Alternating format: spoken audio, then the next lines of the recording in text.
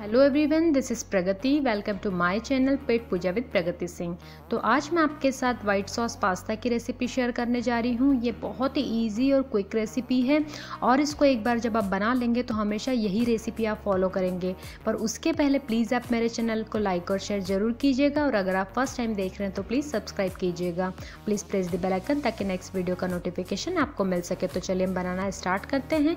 यह white sauce pasta के लिए मैंने तीन कप पानी में एक कप मैक्रोनी ली है। आपके पास पास्ता हो तो आप पास्ता भी इसमें ऐड कर सकते हैं और मैक्रोनी से भी ये बन सकता है। और इसे कवर करके 10 मिनट के लिए आप छोड़ दीजिए। यहाँ 10 मिनट हो गए हैं। फिर हम इसे खोल के देखेंगे और एक बार चलाएँगे ताकि नीचे मैक्रोनी चिपके ना और चला के फिर से हम इसे कवर कर देंगे।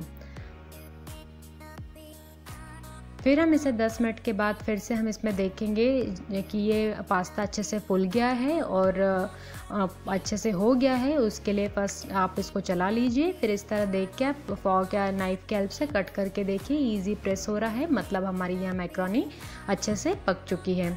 तो बस अब हम इसे अच्छे से इसका पानी निकाल देंगे और इसे खिला खिला बनाने के लिए मैंने यहाँ पे वन स्पून ऑयल ऐड किया था और इसे इस तरह हम निकाल के साइड में करते हैं।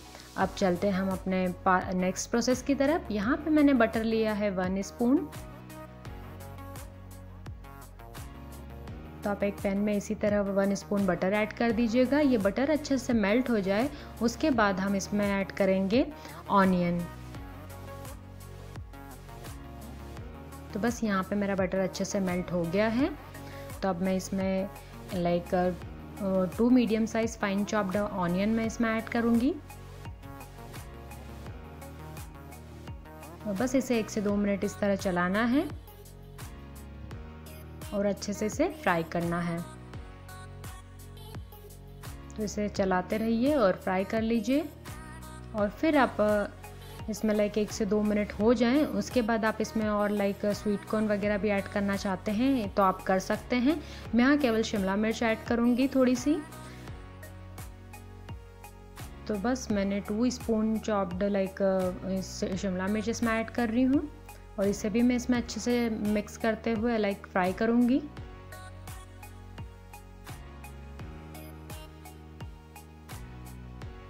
तो बस ये एक बार अच्छे से फ्राई हो जाए लाइक ऑनियंस का थोड़ा सा थोड़ी सी आप इसमें ग्रीन चिली भी ऐड कर सकते हैं। मैंने यहाँ one green chilli fine chop add की है। और बस इसका हल्का सा कलर चेंज हो जाएगा। उसके बाद हम इसे निकाल के साइड में कर लेंगे। तो आप देख सकते हैं, ये ऑनियंस का कलर चेंज हो गया है। तो हम इसे एक बाउल में निकाल के साइड में कर लेंगे।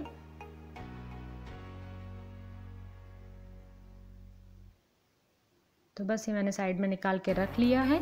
अब चलते हैं नेक्स्ट प्रोसेस की तरफ़। अब हम उसी पैन में, आप यहाँ पे मैंने अमूल का गार्लिक बटर लिया है। अगर आपके पास ये हो तो आप ये यूज़ कर लीजिएगा। अदरवाइज़ नॉर्मल बटर भी आप इसमें ले सकते हैं।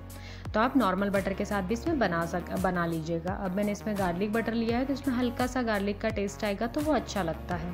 अगर गार्लिक बटर नहीं हो तो आप बटर में हल्का सा लाइक लहसुन कद्दूकस करके आप डाल दीजिएगा तो सेम टेस्ट वही आएगा। अब मैंने ये बटर अच्छे से मेल्ट हो गया इसमें मैंने टू स्पून मैदा ऐड किया है और ये सारी प्रोसेस इसके बाद स्लो फ्लेम पे होगी। यहाँ मैदे को, जो हमने मैदा ऐड किया है, उसे अच्छे से हमें सेकना है। लाइक हल्का सा उसका कलर चेंज हो जाए, उसके बाद हमें धीरे धीरे करके हाफ़ कप दूध ऐड करना है। रूम टेम्परेचर वाला दूध होना चाहिए और इसके लम्स हटाते हुए मैंने हाफ़ कप दूध पूरा ऐड कर लिया है। तो इस तरह ये बन गया है। इसके बाद हमने जो ऑनियन फ्राई करके रखे हुए थे, वो भी हम इसमें ऐड कर देंगे। और अब हमारी जो मैक्रोनी थी, आप देख सकते हैं ऑयल डालने से मैक्रोनी काफ़ी खिली खिली सी है। तो वो हमने इसमें ऐड कर दी है इन्हें अच्छे से मिक्स कर दीजिएगा। अब इसके बाद हम इसमें ऐड करेंगे थोड़ा सा सॉल्ट लाइक इस पर टेस्ट आप सॉल्ट ऐड कीजिए। मैंने हाफ़ स्पून सॉल्ट ऐड किया है, और इसमें हम ऑर्गेनो ऐड करेंगे। तो या तो आपके पास डोमिनोज वाले शेशे जो आते हैं, वो भी आप इसमें ऐड कर सकते हैं। मैंने यहाँ पिज़्ज़ा का ऑर्गेनो जो मेरे पास था, वो मैंने ऐड किया है। और ब्लैक पेपर हाफ़ स्पून हम इसमें ऐड करेंगे। ब्लैक पेपर पाउडर और अब हम इसमें ऐड करेंगे मोयोनीज़ तो आप मोयो आप इस तरह लीजिए, ये मिल जाता है। आप इसको ये ऐड करेंगे तो बिल्कुल इसका taste white white sauce pasta जो मार्केट में मिलता है सेम वैसे ही आएगा। तो ऐसे टू स्पून के करीब हम इसमें मोयो ऐड करेंगे और इसे बस हम अच्छे से मिक्स कर देंगे। और अच्छे से एक दो मिनट हम मिक्स करने के बाद ये हमारा वाइट सॉस पास्ता रेडी है। एकदम क्रीमी क्रीमी सा टेस्टी टेस्टी सा, मस्त और डिलीशियस पास्ता रेडी है। तो इसे एक से दो मिनट हम इसी तरह चलाएँगे। तो आप देख सा, देख पा रहे होंगे कि कितना ज़्यादा क्रीमी और टेस्टी है। तो है ना ये बहुत इजी एंड क्विक रेसिपी चलिए अब हम इसे सर्विंग बाउल में शिफ्ट कर लेते हैं।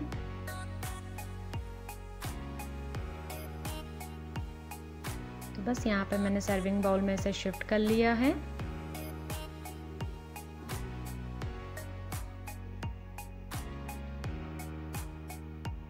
और अब हम इसे प्लेट में ले लेते हैं सर्व करने के लिए। तो ये रहा हमारा टेस्टी टेस्टी डिलीशियस सा वाइट सॉस पास्ता तो आपको मेरी रेसिपी कैसी लगी कमेंट्स के थ्रू ज़रूर बताइएगा और प्लीज़ लाइक और शेयर करना मत भूलिएगा। और प्लीज़ अगर इसके रिलेटेड कोई भी क्वेश्चन हो तो आप कमेंट्स के थ्रू मुझसे पूछ सकते हैं, मैं रिप्लाई करती हूँ। तो चलिए bye and see you in next video take care and thank you for watching my video thank you bye take care